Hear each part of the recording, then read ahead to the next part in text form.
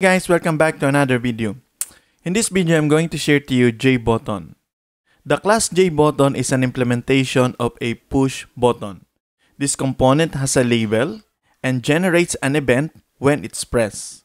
It can also include images. So, what's an event? Event is a change in the state of an object. Let's say, for example, you press, or let's say when you press the button, or let's say you move it, okay? Now, in Java, we have what we call event handling. Event handling is a mechanism that controls the event and decides what should happen when the event occurs. This mechanism has a code in which known as the event handler. Okay? So, in this example, we're going to create a frame and then includes a button. Then once we click the button, it should display the text hello world. Let's now go to our NetBeans here. Let's create our next class. So let's give it a name swing 1c. Okay, finish. First thing is we need to import our library. So import java java dot awt dot event okay so this library here will import the events such as action listener. Next is we're going to import javax javax dot swing dot aster. Okay. Next is let's have our oh sorry let's our public static void main. Okay. Let's have our frame j frame f j frame f is equals to new j frame. Let's have here button example. Next is let's create a text field. By the way we're going to have here a text field okay? To do that let's have here uh, j uh, text field okay. Text field equals to new j text field. Text field. Next is let's uh, place the text field into our frame. So uh, sorry. It should be capitalized. Okay.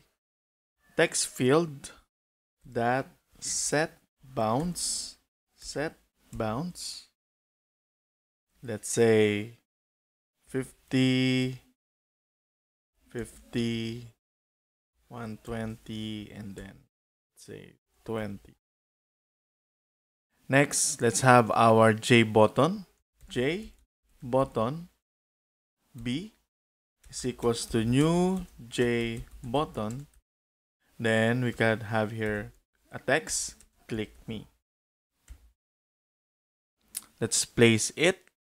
So b dot set bounds. 50 ah sorry. 50 let's say 100 100 next is let's so we already have the items here. So we need to create now sort of a event. Event is the item that when the user clicks the when the user clicks the uh, button it should perform something okay? Now we have to set b that add action listener okay? And then new action listener action listener.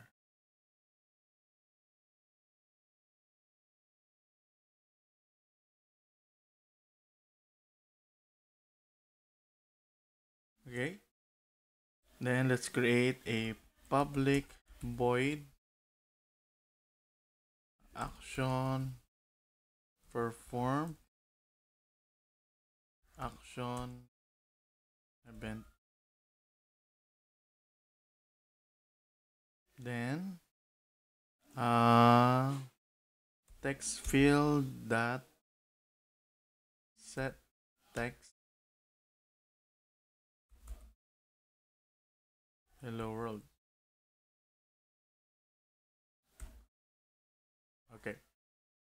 let's add the button.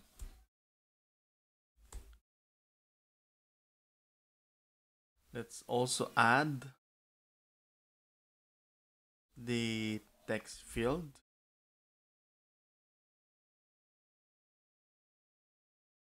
Then let's set the width.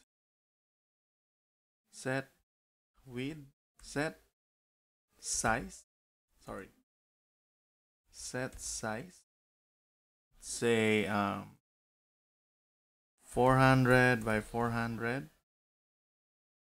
then f dot set default close operation j frame that exit on close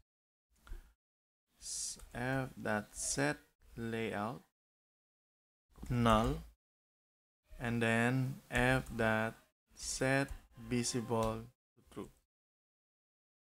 so here's our code so take note that the objective here is for us to uh, create a frame, place two objects, which is a button and a uh, text field. Once the user clicks the text field, it will automat uh, rather the button, it will display the text hello world to our screen. Okay, let's uh, run our code.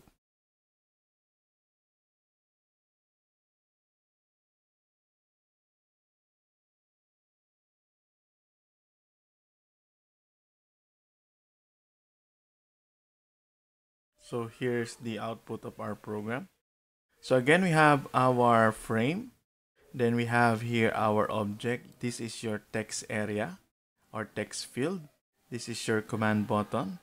So once the user clicks this one, it automatically triggers an event that when the user clicks this one, it would um, set the text to our text field to hello world. So click me. There you have hello world. Okay. So here's an example of a button that uh, uh, that includes an action listener to execute an event. Okay. So that's all for this video. Thank you for watching. Bye.